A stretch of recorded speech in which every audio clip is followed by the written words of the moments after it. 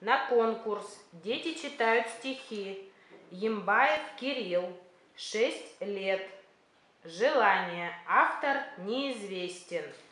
Детский сад номер 203, город Челябинск. В Новый год поймаю я снежинку белую, тут же загадаю, я желание смело, чтобы люди